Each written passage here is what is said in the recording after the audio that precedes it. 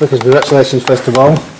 It's a toughie, wasn't it? A battle. Yeah, it was a battle, wasn't it? You know, or it turned into a battle. Mm. I think, um, which pleased me because you know we, we, talked about it when I first come into the building about clean sheets and keeping mm. them. I think you know the until we come in, I think there were four clean sheets, mm. and now we've sort of kept three in eight games, and that's that's a pleasing stat for me because you know I talk quite a lot of how I want the game to be played, and I want it to be uh, how we move the ball around the pitch, but the character and the resilience the lads showed today to to dig in and and not accept um, them to score a goal was good. And, and you know, you win football matches if you keep clean sheets. Yeah, I, mean, I was just saying to Platty there, we'd have lost that game, honestly, a few months ago. We were conceding for fun mm. corner kicks, and he was saying he just had a feeling out there that you didn't want to didn't want to let them get anywhere near the goal. I mean, you know, you've got to when you're building a project that we are, you've got to look at the short term. The short term has been to bring in, you know, experience because mm. when when when the muck and bullets are flying, um, sometimes young players can go under. Mm. But I think the spine of the team,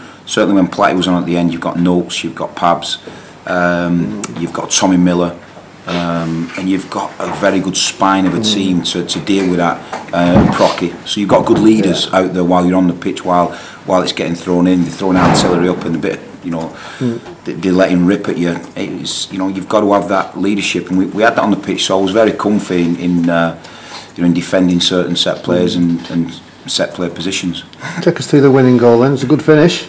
Oh, it's a beautiful, beautiful ball, wasn't it? You know, it was. Uh, I thought some of the creativity first half uh, was outstanding. The first 20, 30 minutes, um, apart from a killer edge, um, you know, when I look at the, the, the recycling of the ball and the work of the ball and the tempo of the ball, mm. you know, to play one touch on that pitch, that takes mm. bravery, that, that mm. takes courage.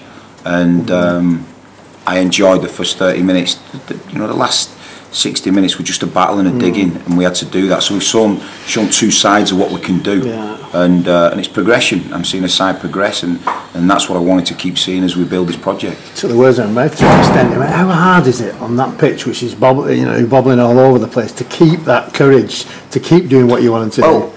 So, you know, a possession-based player, people talk about his technical detail mm. and, and, and you know how he looks good on the ball, he looks good on the eye the biggest thing from a possession-based player is what's inside him, how brave he is, how courageous he is, mm. what his conviction is, what his decision-making is.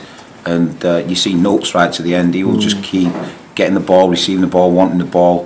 Mm. And uh, and it is difficult, there's no doubt about it, but um, you know, we've we've managed to ride a bit of a storm and um, you know, I've been delighted with the, with the actual application from the lads. I mean, if that pitch goes worse, it's going to get harder each week, isn't it? I think so. Mm. I think so. But again, you know, these, these the long-term vision was to try and get a football team on the pitch yeah. that uh, that could, you know, we could design and, and we could design wins against teams. Um, I'll keep bringing that possession-based player in to, to do that, and uh, you know, the short-term fix is winning football matches, uh, and then next season there is a plan in place to get the pitch done. There's yeah. no doubt about that. And I think next season, if we can keep adding to what we've already got, uh, I'm looking forward to that. New boys played a big part. How do you think they did? Um, well, John Louis gives you pace. He's mm. direct. Uh, he stretches teams, and uh, yeah, he put a, a, big shift into mm. to certainly the first half. Uh, so he's a good player. He's, he's just a player that yeah. wants to be on the ball, gets on the ball, and he can go past players, which is a great skill for a centre midfield player. It gives an opportunity to attack central, mm. which was important for me. Um, and and he can also find and spot a pass and. Uh, and Platty's something different. You know, I, I knew what I would do when I brought Clive Platt in.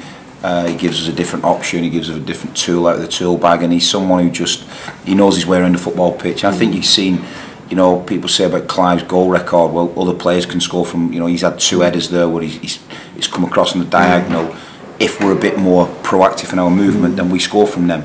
So you get goals off of Clive Platt if he's mm. not scoring them. Yeah, and he was saying he's not fully fit yet as well. Tony's a problems before. Well, again, you know, Clive Platt, I spoke to him probably five weeks ago and, and he said, Flick, I've got to go and um, down to St George's. He invested it himself. Yeah. He, he went and paid for it himself to get yeah to get down to St George's.